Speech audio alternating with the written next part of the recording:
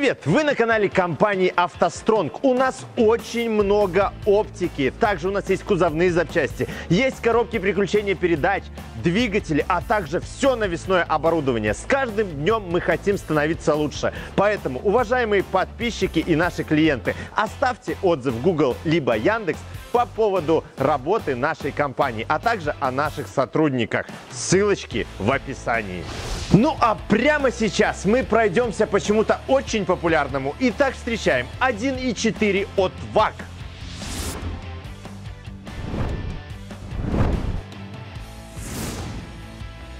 16-клапанные бензиновые двигатели объемом 1.4 и 1.6 появились под капотом автомобиля Golf в 1997 году. Это были двигатели семейства EA111. Они установлены под капотом под углом 20 градусов с выпускным коллектором вперед. Двигатель 1.6 мы уже разбирали, так что посмотрите в нашем плейлисте про двигатели Volkswagen. Двигатель 1.4 от 1.6 отличается ходом поршня. У 1.4 он 75,6 мм, у 1.6 он 86,9 мм.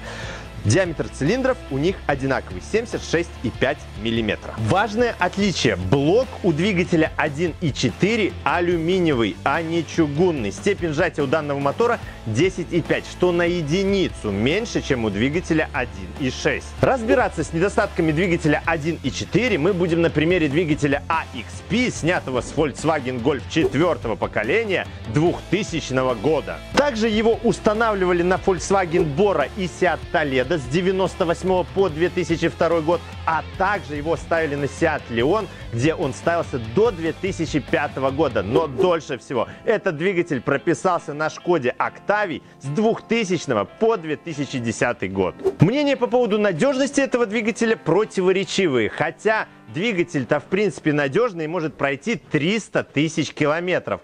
Неудобства доставляют капризы по поводу топлива, также по поводу EGR и ненадежного привода ГРМ. Расположенный в топливном баке бензонасос иногда требует внимания. Первые симптомы выхода из строя – это ухудшившаяся тяга, неуверенный запуск двигателя со второго раза, а также возросший расход топлива. Для более точной диагностики надо проверить давление подачи топлива. Оно должно быть 3 бара. При компьютерной диагностике на проблему с топливным насосом указывает сильно положительная корректировка топливной смеси под нагрузкой. Работа двигателя на бедной смеси отражается на свечах зажигания. Электроды покрываются белесым, таким тускло-белым налетом. Бензонасос относительно легко реставрируется путем замены его электромоторчика. Датчик положения коленвала на этом двигателе стоит вот здесь. При неисправности датчика положения коленвала двигатель может не заводиться, либо заводиться только на горячую. Также двигатель может глохнуть на ходу, либо при отпускании педали газа. Троить и работать очень жестко. Проще всего выявить проблему с помощью компьютерной диагностики. Иногда датчик вообще ни при чем. Причина грязь в контактах его разъема, а также просто обрыв провода. Клапан EGR двигателя 1.4 под Евро 4 и поэтому он электронный, оснащен сервоприводом. Этот клапан адаптивный и оснащен обратной связью. Это значит, что, во-первых, блок управления получает данные о положении клапана, а во-вторых, что его надо программно отшить. Если его просто заглушить, то на приборной панели появится Check Engine. Клапан на более ранней версии двигателя 1.4 оснащен вакуумным приводом. Глушится элементарно. Иногда клапан EGR создает проблемы. Часть из этих проблем чисто механическая. Клапан EGR может подклинивать и плохо закрываться. Из-за лишних порций отработавших газов во впуске двигатель будет плохо заводиться, плохо развивать обороты, а также будет плохо удерживать эти самые обороты. Другими словами, из-за сбоя в работе клапана двигатель будет работать на обогащенной смеси и неравномерной ее подачи. При этом свечи будут влажные. При заклинивании клапана будет биться ошибка по потенциометру положения клапана. Избавиться от этой проблемы Можно просто почистив клапан специальным средством. Нередко клапан EGR просто отказывает, тогда он остается в закрытом положении. Естественно, показывается ошибка Check Engine, и тогда клапан надо менять. Хотя специалисты говорят, что если моторчик не работает, то в этом виноваты контакты, которые просто окисляются и отваливаются. Нужно разобрать вот эту фишку, прочистить контакты, подпаять, и тогда все станет отлично.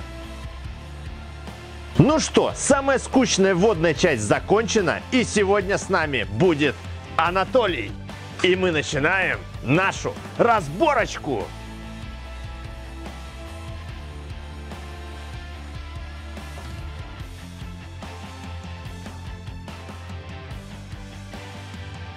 Дроссельная заслонка требует внимания не часто. Обычно ее чистят за компанию, решая проблемы с другими деталями двигателя. Но при ее установке обязательно потребуется адаптация с помощью фирменного ПО.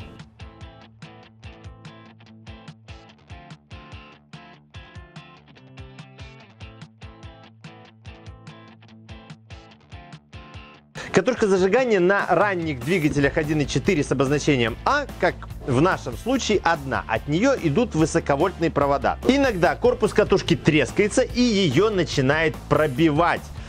Лучше, конечно, заменить катушку на новую, либо еще лучше на бэушную из автостронга. Некоторые умельцы заливают трещины эпоксидным клеем, и тогда катушка начинает работать нормально.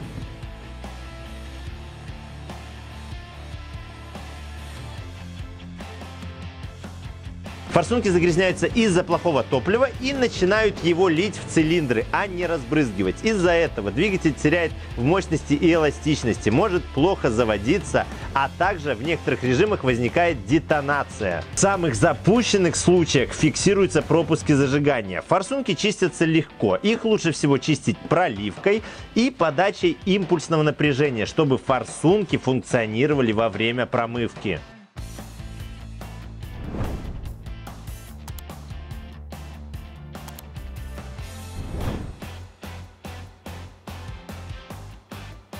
Датчик абсолютного давления иногда нуждается в чистке. На это указывает соответствующая ошибка. Этот датчик может даже препятствовать запуску двигателя.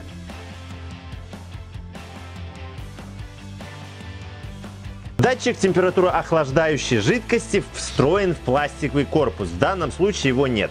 Этот датчик нередко выходит из строя и тогда показывает некорректную температуру двигателя, то есть охлаждающей жидкости. По приборам может двигатель не догреваться, либо перегреваться. Но на самом деле система охлаждения функционирует абсолютно нормально.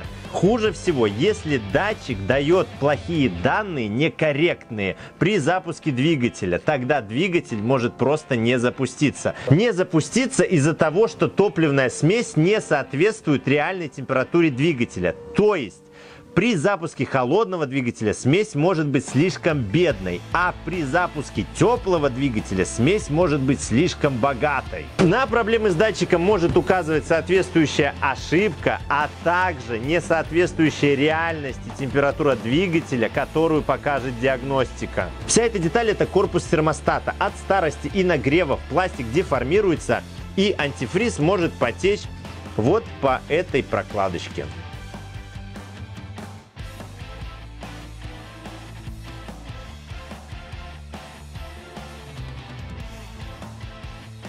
Маслоотделитель системы вентиляции картерных газов установлен прямо на блоке. Двигатель 1.4, как его старший брат 1.6, известный перемерзанием трубки вентиляции или маслоотделителя картерных газов. Вот эта трубка, которая идет к воздушному фильтру. Дело в том, что при температуре минус 20 происходит перемерзание. Из-за чего? Из-за наличия в этой трубке влаги. А влага там скапливается при коротких поездках, когда двигатель не успевает прогреваться и испарять ее из воздуха, который находится в картере и в ЭКГ. Проходимость системы ВКГ можно проверить на работающем двигателе. Для этого достаточно открутить пробку маслозаливной горловины. Она должна минимально подпрыгивать. Затем добавляем оборотов и она должна присасываться. Если же она подпрыгивает еще больше, то значит в системе есть проблема. То есть в картере высокое давление и эту проблему надо срочно решать, потому что давление выдавит все сальники, а также масло через щуп.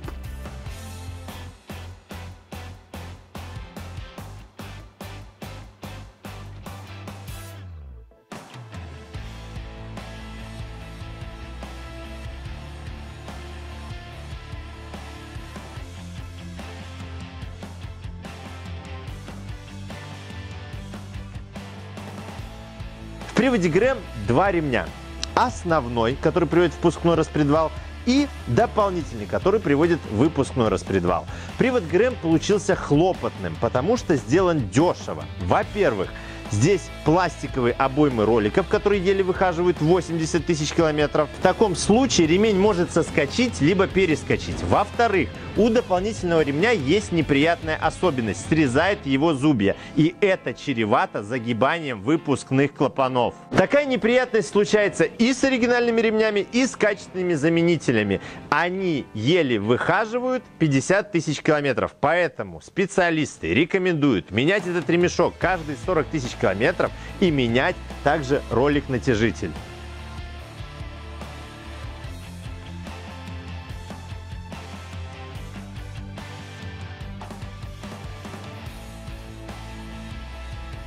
Распредвалы размещены в отдельной опоре, расположенной сверху на ГБЦ. Обратите внимание, что крышка уплотняется герметиком. Свечные колодцы проходят через всю крышку. И если герметик здесь истощается, то масло попадает в свечные колодцы. Если масло попадает в свечные колодцы, то надо снимать крышку и переуплотнять.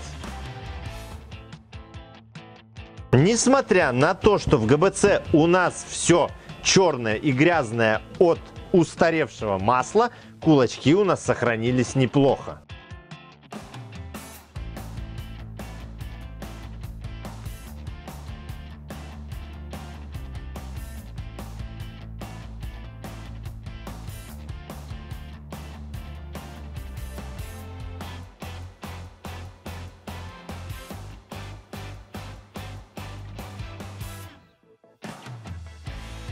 В принципе, это ГБЦ в нормальном состоянии, но нас смущает большое количество нагара.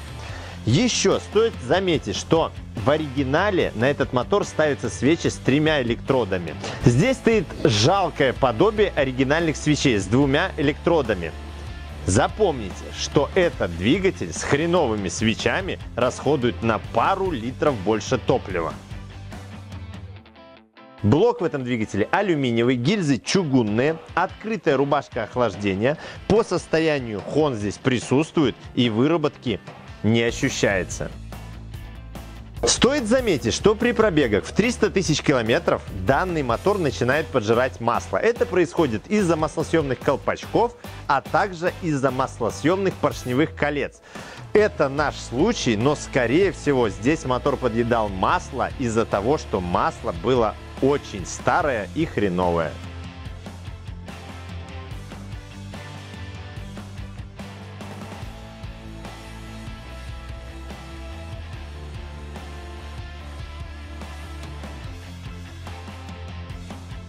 Поддон здесь алюминиевый с датчиком уровня масла. Многие по незнанию слишком сильно закручивают сливную пробку, затем срывают резьбу и тогда приходится нарезать новую. Смотрите, маслозаборник идет в переднюю крышку двигателя. Здесь находится маслонасос. Маслонасос приводится от носка коленвала.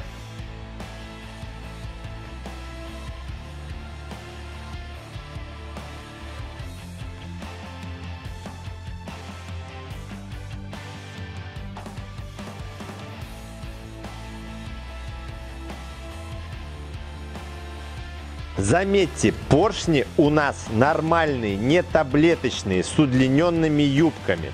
Так как наш двигатель пострадал от несвоевременного обслуживания, у нас стерто графитовое напыление, на юбках поршней видны задиры, также закоксовано маслосъемное кольцо и износ шатунных вкладышей. Приятная особенность вот этот канал, по которому масло подается к поршневым пальцам. Кстати, в блоке масла форсунок нет.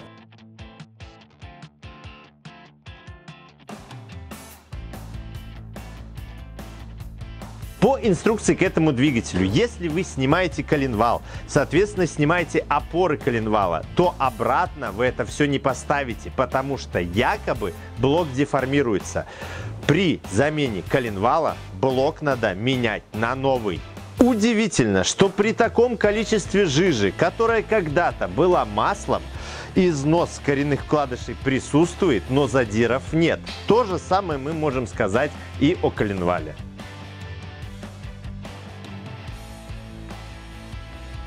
Разборка закончена и сегодня мы разобрали надежный, хороший мотор. К сожалению, ему достался не очень хороший хозяин. Если вы хотите знать о моторах, коробках и запчастях все, обязательно подпишитесь на наш канал, поставьте лайк этому видео, заходите на наши соцсети, заходите на наш сайт, покупайте у нас отличные запчасти и помните, что с вами всегда была есть и будет компания «АвтоСтронг».